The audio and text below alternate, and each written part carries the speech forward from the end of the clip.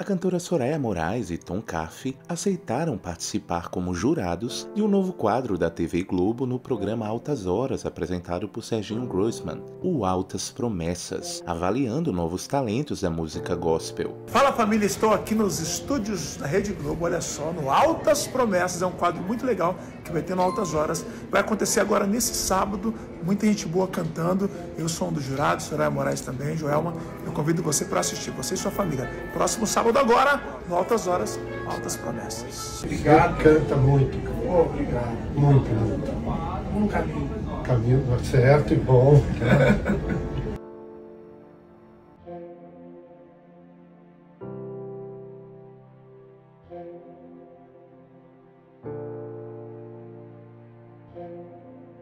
Eles recebem então duras críticas e respondem algumas delas. Jussi escreveu: Estratégia para enganar, como sempre. E Soraya Moraes responde: Mas milhões assistem a Globo e vão ouvir a palavra de Deus através dos louvores. São 100 milhões de pessoas só no Globo Play. Abra mente. Como virão se não há quem pregue? Míria diz: Falta de sabedoria. E Soraya rebate: Não é o que o apóstolo Paulo escreveu sobre usar estratégias para falar do amor de Deus, mas vai ver que a tua Bíblia é outra. Lívia afirma, deixando de seguir, ou somos luz ou trevas. E Soraya pergunta: Então, mas a luz brilha aonde? Deus abençoe. Carol diz: Não se misture, querida. E Soraya questiona: Ide por todo mundo, lembra? Fale com toda criatura de Jesus, lembra? Tatiane desabafa: Que papel lamentável. Soraya responde: Bom, para quem está participando é uma bênção e quem ganha o prêmio poderá gravar o seu primeiro trabalho. Então tudo tem dois lados, né? O que é ruim para você vai ser uma bênção para alguém. Ivani afirma: Tudo por audiência. Soraya responde: Claro, lá tem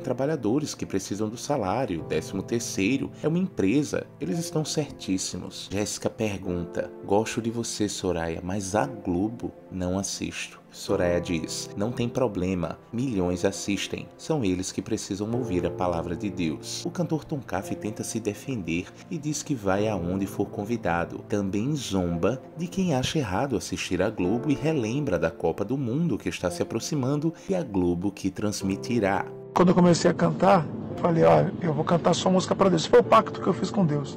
Vou pertencer somente à música gospel. Não tenho nada contra quem canta secular, né? Vocês sabem muito bem disso. Só que naquela época eu recebi muitos, muitos convites de empresários para pertencer a bandas, para cantar música secular e tal. E eles diziam isso, não, porque a gente vai te botar na Globo e tal, só que você, tem, você não pode cantar gospel, cara. Você tem que cantar outro estilo de música, você tem que cantar outro gênero musical, para você poder entrar nas grandes emissoras de TV e tal, né? E aí eu não, continuei no meu propósito, continuei firme dentro da minha missão, é, não aceitei aqueles convites.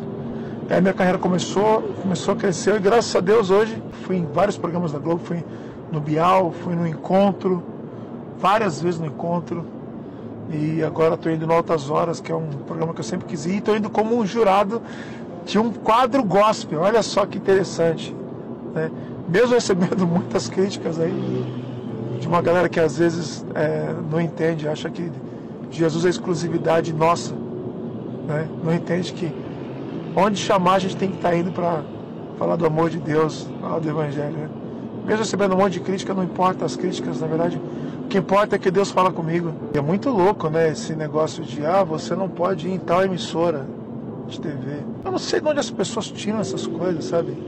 Aliás, sei sim, porque ah, os religiosos, os fariseus também, e até os próprios discípulos, às vezes, por não entender muita coisa no ministério de Jesus também dizia, Jesus você não pode ir aí, não, com essas pessoas você não pode falar, não, com essas pessoas você não pode se relacionar, não, ali não, ali é leproso, não pode estar perto de leproso, entendeu? Não, ali é, é gente de outra religião, não pode estar perto de outra gente de, gente de outra religião, não, ali é, sei lá, ali é publicano, como que você vai entrar na casa de um publicano? O cara é um traidor de Deus, o cara é um traidor do povo judeu, como que você vai... E Jesus ia, irmão. Então é isso que eu faço, eu vou. Ah, não gostei que você foi. O problema é de quem não gostou, cara.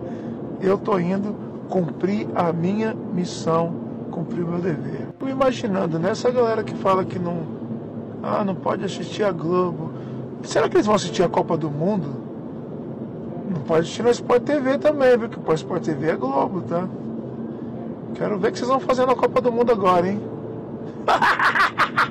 Soraya Moraes vem a público e diz que a sua missão está acima da opinião dos outros. Quando você lê a palavra, a ordem de Jesus, ide por todo mundo e pregar o evangelho a toda criatura, você acredita, sim ou não?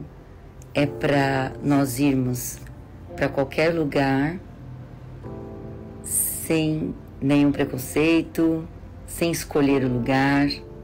Qualquer lugar merece ouvir o Evangelho?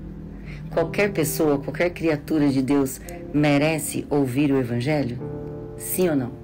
Ou esse ide por todo mundo, pregar o Evangelho a toda criatura é pregue só para aqueles que são certinhos, que estão na sua igreja, só pregue na sua igreja, dentro da igreja, só pregue em rádio evangélica, só pregue em TV evangélica, só pregue para pessoas santas, maravilhosas, para criaturas incríveis, maravilhosas? Sim ou não? O que eu tenho que te dizer sobre mim é que a minha missão sempre vai estar acima da opinião dos outros. Entendedores entenderão.